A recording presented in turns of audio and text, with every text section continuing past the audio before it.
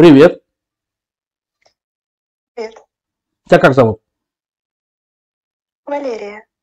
Валер, слушай, ты когда-нибудь любила в жизни? Конечно. Э, а сейчас отношения есть?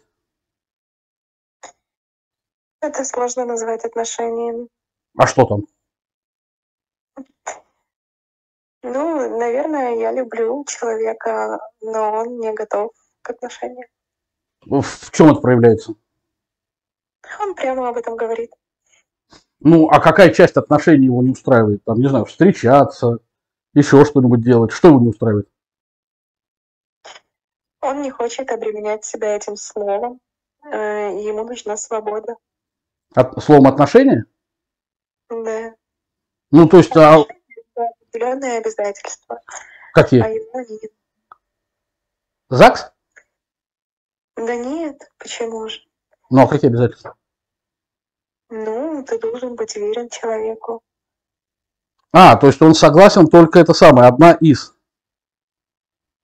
Ну, он учитывает вариант, что если он встретит человека, который ему понравится, и он захочет, к примеру, переспать с ней, то он это сделает. Угу. Ну, то есть, смотри, уже некоторая чистоплотность. Он из-за этого не хочет отношений. То есть, ну, ты же понимаешь, что он бы мог, э, грубо говоря, ну, да, хочу, встретил, переспал. То есть, по крайней мере, он двойную игру не ведет. То есть, он, грубо говоря, он от- отказывается сейчас, э, допустим, с тобой спать, только потому, что, ну, это вообще какой-то романтик неисправимый, только потому, что может встретить и захотеть переспать. Или он от тебя хочет добиться разрешения. Ну, как говорится, быть там второй, третий и так далее.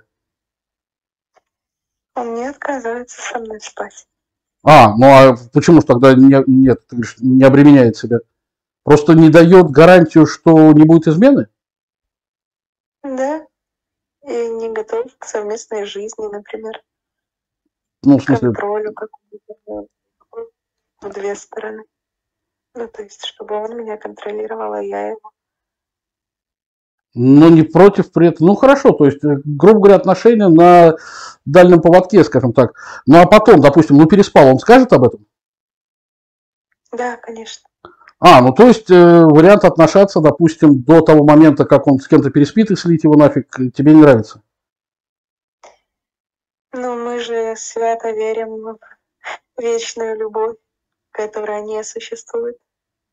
Ну хорошо, а слить его заменить следующим?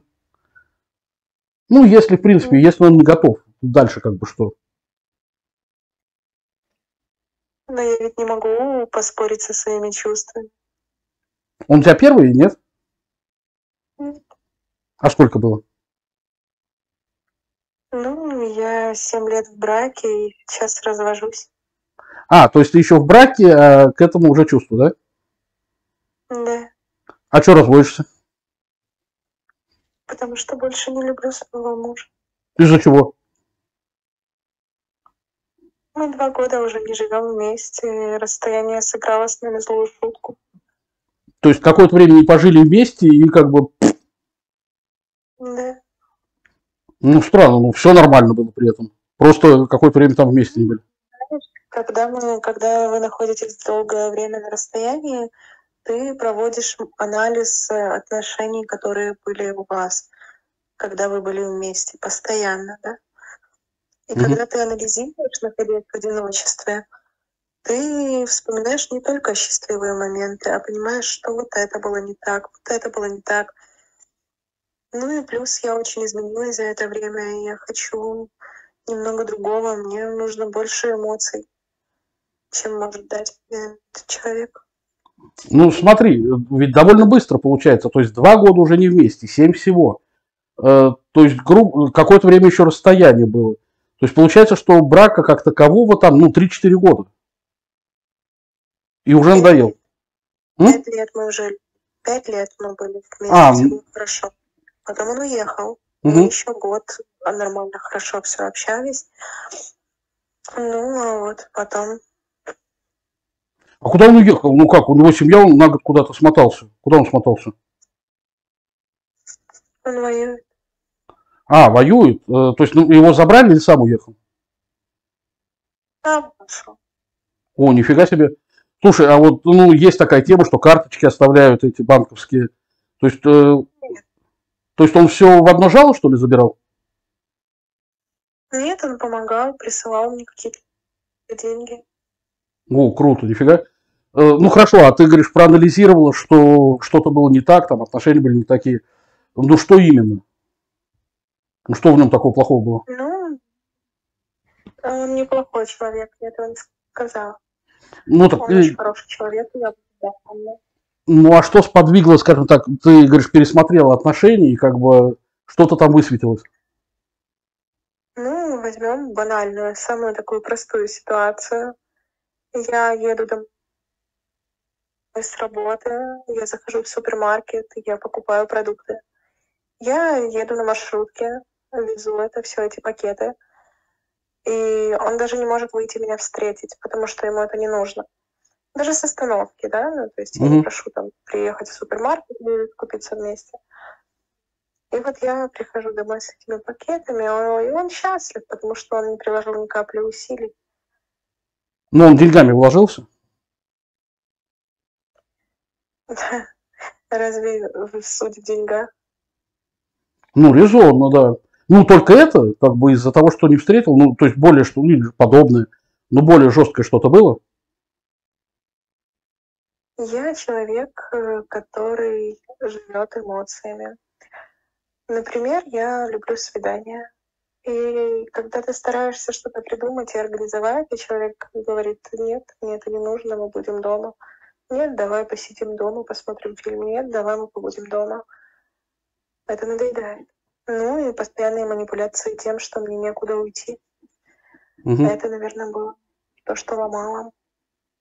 Он у тебя первый был? Нет, А сколько до него было? отношений Ну, скажем так, да. двое. Мгм. А возраст какой? Я вышла замуж в 18 лет. О, ну, блин, это все-таки небольшой возраст. Там, как правило, еще влюбленность может быть в таком, в таком возрасте. Вот, и сейчас слив. Ну, хорошо, а вот этот вот, который нынешний появился, который, зараза такая, не хочет гарантии давать, э, он первый, который появился после? Или какие-то еще были? Нет, нет, он первый. Ну, какой шанс даешь, что его в ближайшее время, ну, если он такой засранец, вот, гарантии не дает, какой шанс, что его в ближайшее время будешь там на следующую менять? Гарантий нет никаких. Шансов нет тоже. Ну, как, как сложно это оценить. Я наслаждаюсь моментом. Если в моменте он рядом со мной, я благодарю за это Вселенную. Хорошо, а если сейчас, не знаю, там войнушка закончилась и вернулся этот, однозначно, ну, как бы действующий, э, или ты уже подала на развод? Нет, я еще не подала на развод, и он пишет, что любит меня и будет любить всегда, и просит, чтобы я хотя бы писала, как у меня дела. Я не знаю, сможем ли мы все отстроить. Мы пытались, Мгм. но все испортил одной прекрасной ночью. А ты ему про действующего говорила, нет? Он в курсе? Нет, конечно. Не, ну резонно, нафига нервировать. И так не в простой ситуации человек оказ- оказался. Да, это должно было быть по-другому. Я хотела, чтобы он вернулся с войны, хотела, чтобы он получил психологическую помощь, прошел реабилитацию, и лишь тогда расставлять точки над «и». Но как-то так сложилось, что Ну хорошо, вот если вот этот сейчас действующий негодяй, допустим, сольется, ну все, переспал с кем-то, ты его, ну все, как бы неприемлемо, да? я не знаю, когда любишь человека, то можешь прощать ему многое. Ну да, ну хорошо, допустим, он сам слился, там сам инициативу проявил. Э, Другого пока нету, возвращается действующий супруг. Э, Разбегаешься или нет? Не знаю. Угу. Но рассматриваешь вариант третьего?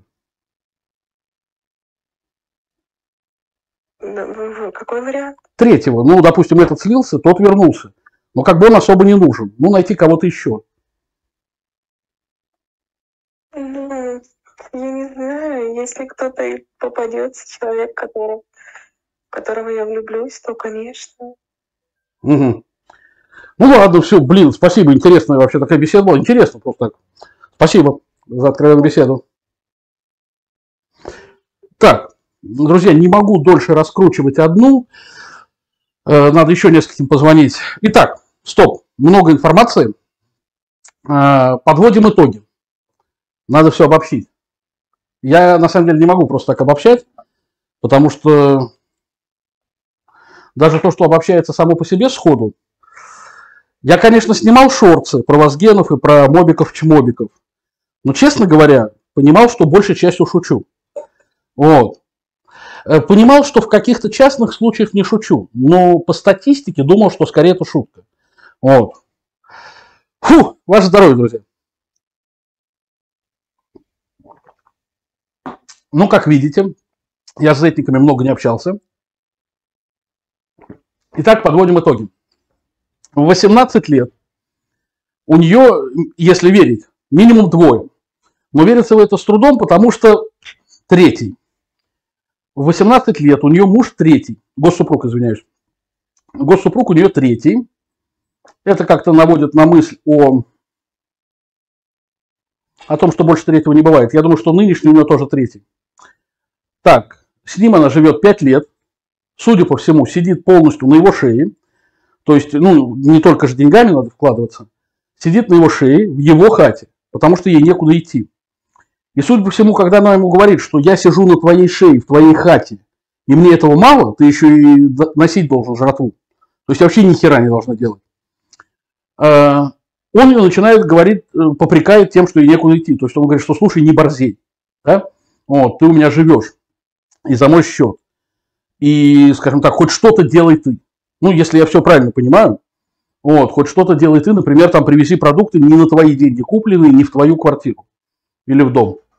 Вот. Ее это травмирует до такой степени, что как бы он нахер не нужен становится.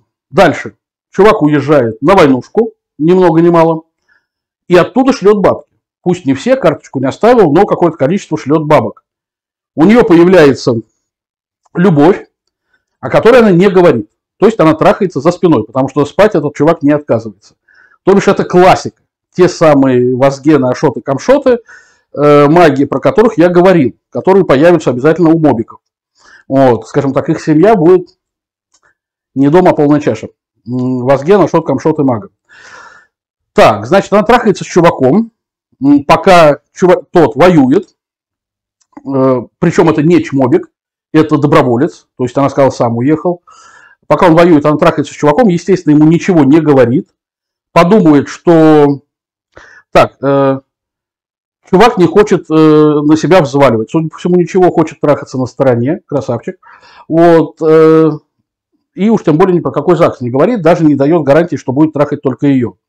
Вот, поэтому она не разводится с этим чуваком, продолжает, судя по всему, получать помощь. Вот, скорее всего, Э, нахер шлет, потому что он ей пишет там «люблю, не могу». Вот, э, скорее всего, просто ну, почувствовал отмораживание. Вот, она здесь шпилится, продол... живя в его квартире, скорее всего, шпилится на супружеском ложе, продолжает получать помощь. Вот, э, но если этот чувак, ну, грубо говоря, запасная ветка не сольется, то с ним будет развод. Вот. А так как жить ей негде, то, очевидно, он должен не только не слиться, но еще и каким-то образом обеспечить жилье. Жить ей не только негде, но, скорее всего, и не на что, потому что живет она сейчас за счет этого воеваки Херова. Вот, поэтому, скорее всего, чувак может теоретически... Понимаете, друзья, для меня это странная ситуация, кажется, что чувак говорит, э, не могу дать гарантии, что не буду больше никого трахать. Если это такой супер трахаль, скорее всего, он бы сказал окей, окей, и трахал бы кого хотел. Судя по всему, вот тут недоговорка. Это какой-то странный образ. Это какой-то предельно честный мегатрахаль. То есть это чувак, который не хочет трахать одну, но при этом честно об этом говорит. При том, что эта одна у него буквально там без году неделю знакома. Вот. Э, он с какой-то теткой прохожей, который несколько раз присунул, говорит предельно честно, будучи полностью аморальным чуваком. Вот, хочу трахать всех и это самое, и, как говорится, и много раз, но м- говорю об этом честно, то есть измена недопустима. Э, причем как измена допустима, но должна разрешить, да, должна согласиться на такой формат отношений.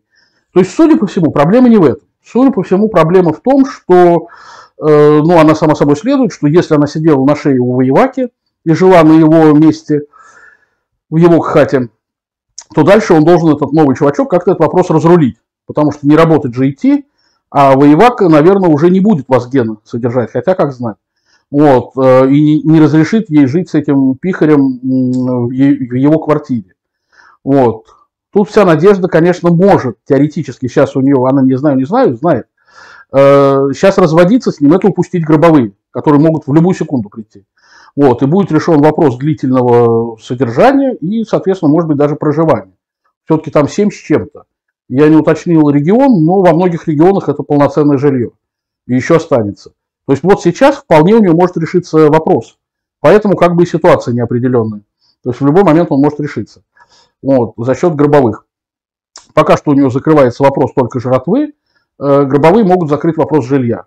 Разводиться сейчас, конечно же, она не будет. Она и сказала, говорит, нет, конечно, не подавала. Вот, просто трахается, как говорится, с чуваком. Дальше она вполне допускает, что если этот чувак сольет, она будет трахаться со следующим. Вот, и разводиться, в общем-то, сходу не собирается.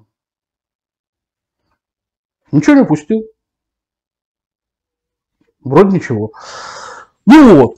Это забавно, друзья, это забавно. Э, но что-то мне подсказывает, что, вот смотрите, как женщина, да, э, как женщина, уровень ее. А теперь другой вариант, как мужчина, убийца, уровень его. В принципе, соответствие. Э, моральное, духовное, душевное соответствие. Убийца и... Вот, не будем говорить, кто понял, тот понял.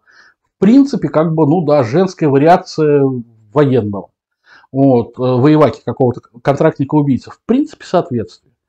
Вот. Э, но, друзья, теперь уже все мои эти ролики про Ашотов, Камшотов, Вазгенов, Магу, они все становятся вполне реалистичны. Ну, как бы вот так. Э, заметьте, либо мне сейчас очень повезло, вот, и я попал сходу на необычного воеваку, либо это норма, потому что с женами, с госсупругами воевак, вот первый раз мне довелось поговорить, пока одна из э, одной. Пока что как бы попадали стопроцентно. Выборка, конечно, небольшая, выборка есть одна. Ну вот, как бы. Ну что ж, как говорится, пожелаем счастливой войны, как говорится, чуваку. Вот. Пока тут его госсупругу шпилят, соответственно, он там пишет, что люблю, не могу, и шлет бабки. Шпилят ее у него же дома, потому что, судя по всему, ей шпилиться негде, а тот чувак не предлагает даже места. Вот. Ну, в принципе, нормально.